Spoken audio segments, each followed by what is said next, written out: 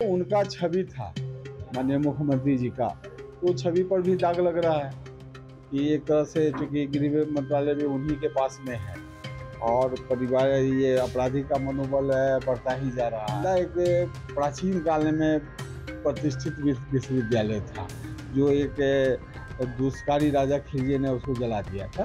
उस समय समझिए कि उस समय भी नालंदा विश्वविद्यालय से पढ़ने के लिए जो शुरू में लोग बताते हैं किताबों में लिखा है कि लगभग तीन, साढ़े तीन लाख बच्चे वहाँ पर पढ़ते थे। तो एक बहुत बड़ा इतिहास है नालंदा विश्वविद्यालय। मैं मणिभूषण शर्मा और आप देख रहे हैं न्यूज़ फॉर्नेशन मुजफ्फरपुर में सुशासन बाबू के राज में अपराध का ग्राफ लगातार बढ़ता जा रहा है। वहीं मुख्यमंत्री नीतीश कुमार बिहार में सुशासन की बात करते हैं तो मुजफ्फरपुर में अपराधियों का इन दिनों बोलबाला है। जहाँ बीते दिनों आशुतोष शाही की रंगदारी नहीं देने पर हत्या कर दी गई थी तो वहीं एक बार फिर मुजफ्फरपुर में अपराधियों ने एक कारोबारी से एक करोड़ रुपए की रंगदारी मांगी है। तमाम मुद्दों पर बात करने के लिए हमारे साथ मुजफ्फरपुर के बीजेपी सांसद अजय निषाद जी हैं। अजय निषाद जी, एक बार फिर कारोबारी से एक करोड़ की रंगदारी मांगी गई है। देखिए ये म- मामला बेहद दुर्भाग्यपूर्ण है। पुलिस प्रशासन को कार्रवाई करना चाहिए।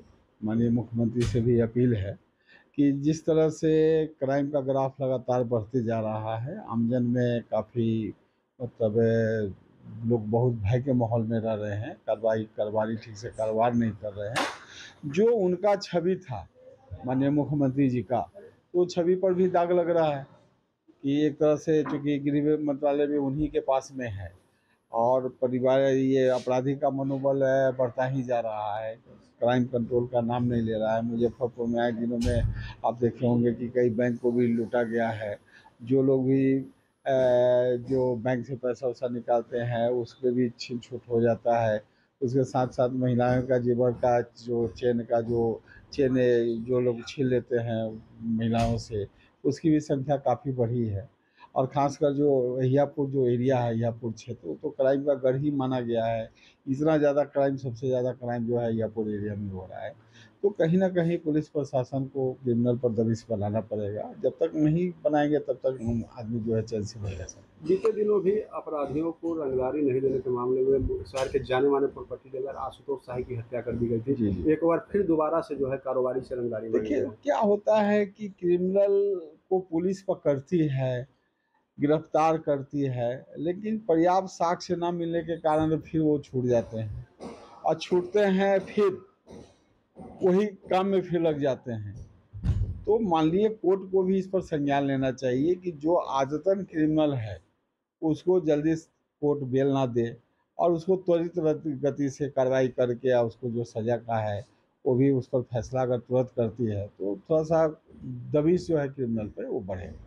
आरजेडी के मुजफ्फरपुर के कुछ नेता हैं, मंत्री हैं, उनका कहना है कि बिहार में सुशासन है। पुलिस अपना काम जो है वो कर रही है। पुलिस अगर अपना काम करती तो हम लोग को इतना बोलने का मौका नहीं मिलता। प्रतिदिन अखबार में पढ़िए तो हमेशा लूटा हत्या डकैती का खबर आता है। तो कहीं ना कहीं क्राइम हो रहा है तभी तो खबर आ रही है। अगर उनकी, उनके अथी में लगता है कि नहीं लॉ एंड ऑर्डर सही है तो इस पर हम ज़्यादा टिका टिकने नहीं करेंगे। लेकिन आमजन बहुत ज़्यादा दुखी है, खासकर क्रिमिनल का मनोबल जो बढ़ा हुआ है उसमें आम आदमी बहुत दहशत में है। जी ट्वेंटी में मुख्यमंत्री नीतीश कुमार पहुँचे थे प्रधानमंत्री मोदी से जुड़ के मुलाकात हुई है जिसके बाद सियासी अटकल भी कई तरह के लगाई जा रही है। क्या लगता है? नहीं माननीय मुख्यमंत्री जी का सम्मेलन में भाग लेने का मतलब कष्ट किए, इसके लिए उनका दिल से आभार है। और जहाँ तक एक नेता दूसरे नेता से जब भी भी मिलता है, चाहे दल कोई हो, सत्ता किसी की हो, लेकिन सत्ता में कोई भी आदमी है तो उसका तो मान सम्मान होना ही चाहिए। तो माननीय प्रधानमंत्री जी ने जो वार्डन बाइडन से माननीय मुख्यमंत्री का परिचय कराया तो ये बहुत अच्छी बात है कि बिहार का, बिहारियों का कद बढ़ा इससे वहाँ भी नीतीश जी की नालंदा की चर्चा प्रधानमंत्री जो। द्वारा की गई देखिए नालंदा एक प्राचीन काल में प्रतिष्ठित विश्वविद्यालय था जो एक दुष्कारी राजा खिलजी ने उसको जला दिया था तो उस समय समझिए कि उस समय भी नालंदा विश्वविद्यालय से पढ़ने के लिए जो शुरू में लोग बताते हैं किताबों में लिखा है कि लगभग तीन साढ़े तीन लाख बच्चे वहाँ पर पढ़ते थे। तो एक बहुत बड़ा इतिहास है नालंदा विश्वविद्यालय का। अगर उसको प्रधानमंत्री जी उजागर कर रहे हैं पूरे विश्व के पटल पे ला रहे हैं तो ये बिहारियों के लिए गर्व की बात है। मुख्यमंत्री जी का प्रधानमंत्री जी से मिलने के बाद जो है अब फिर बिहार के लिए खजाना खोल दिया गया है। हम्म। कई तरह की बातें जो है सियासत में हो रही है? राज्य का जो भी हिस्सा जो केंद्र से मिलना है वो माननीय प्रधानमंत्री जी के नेतृत्व में मिलेगा ही उसमें कोई कटौती नहीं होगी। अगर कोई ऐसा आरोप लगाता है तो सरासर गलत है।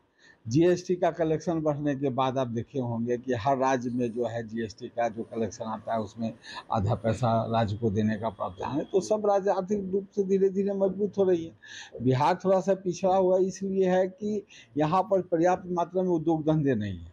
उद्योग धंधे बढ़ेंगे तो जीएसटी का कलेक्शन बढ़ेगा। तो उस पर भी बिहार सरकार को संज्ञान लेने की ज़रूरत है। अच्छा एक छोटा सा सवाल है कि मुजफ्फरपुर में नगर निगम के द्वारा तमाम वादे किए जाते हैं, दावे किए जाते हैं, लेकिन आज भी जो है मुजफ्फरपुर के लोग नरकीय जीवन जीवन को मजबूर है। सड़क पर नालों का पानी, गंदा पानी में चलने को लोग मजबूर है। उसके लिए क्या कुछ किया जा रहा है? देखिए, केंद्र सरकार को जो भी आर्थिक सहायता देना होता है, स्मार्ट सिटी पे, नाम पे, बहुत सारा धन आया, बहुत ज़्यादा ये लोग खर्च भी नहीं कर पाए, बहुत लौटा भी।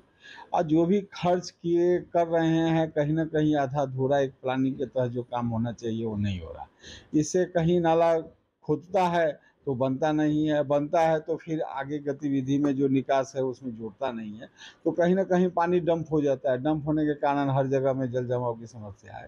तो नगर निगम को भी ईमानदारी से काम करने की ज़रूरत है, प्लानिंग के तहत में ज़रूरत है और कम से कम विकास के मुद्दे पे नगर निगम के जितने भी माननीय वार्ड पार्षद हैं, मेयर हैं, डिप्टी मेयर हैं, सबको एकजुट होना पड़ेगा।